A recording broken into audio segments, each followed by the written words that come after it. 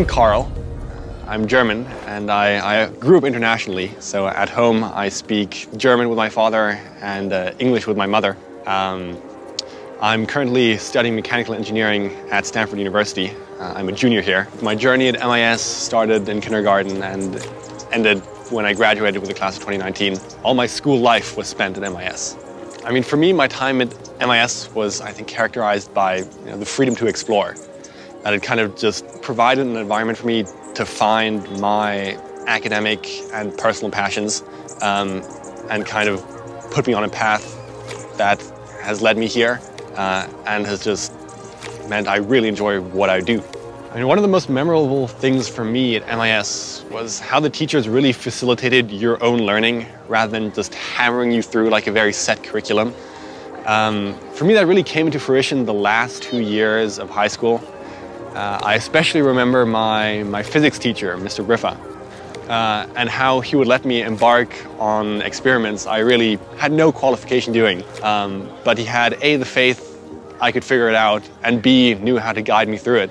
I mean, there are just so many occasions where I remember not being hammered through like a very set curriculum, but kind of being guided on my own exploration. Um, and that is still the way I do things now. So I'm just incredibly grateful that is the way I learned in high school. Why did I decide to study mechanical engineering? I mean, well, the short answer is it's because it's kind of what I do in my free time and it's because, I, because it's what I like to do.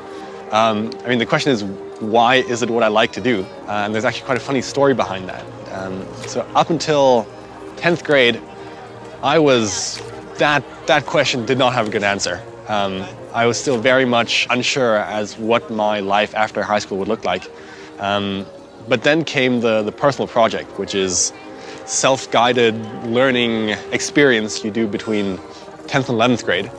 Uh, my personal project idea was to learn 3D modeling um, which sounded fun. You know, I, I'd seen cool things people do with that online, so I was like, that sounds like a great thing to learn. And I don't know what happened, but that flicked some switch in my brain. I mean, it was just so incredibly satisfying to hold something like you have designed and event, essentially created. Um, that that really, really kicked something off. So if I could give advice to, to people uh, applying to university, um, I think it's apply to something you really want to do. If you like what you study, I mean, you are just going to have such a great time.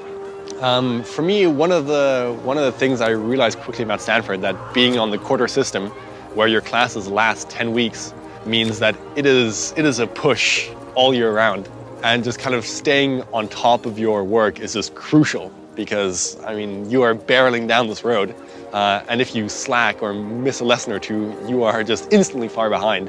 Um, uh, but I feel like I was relatively well prepared for that, just coming from the IB, um, periods of, of time where that is the norm uh, weren't super foreign to me.